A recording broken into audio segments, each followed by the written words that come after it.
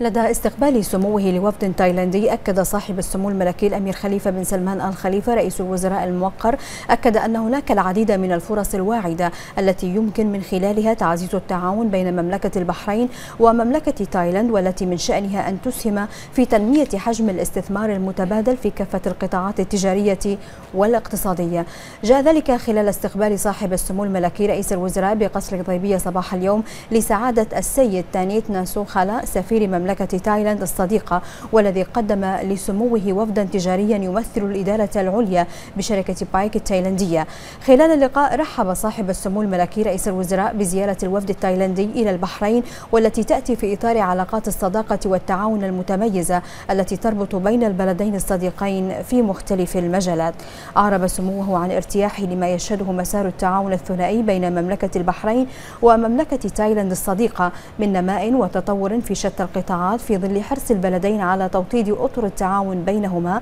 وتقويتها بالشكل الذي يخدم المصالح المشتركة.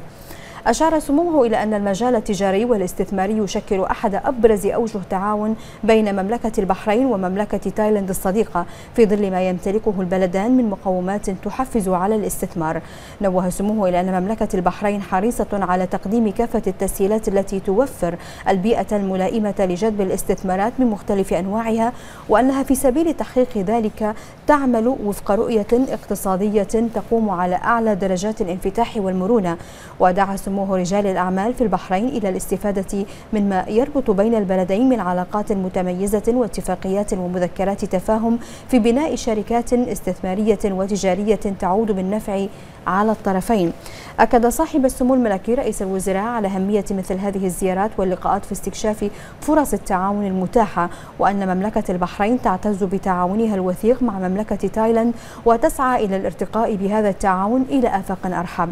من جانبه أعرب سفير مملكة تايلاند وأعضاء الوفد عن خالص شكرهم وتقديرهم لصاحب السمو الملكي رئيس الوزراء الموقر على دور سموه المشهود في تعزيز علاقات التعاون والصداقة بين البلدين وأشادوا بما تتميز به مملكة البحرين من مناخ اقتصادي واستثماري آمن ومحفز على دخول السوق البحرينية ونوهوا بما تشهده مملكة البحرين من نهضة وتطور في كافة المجالات.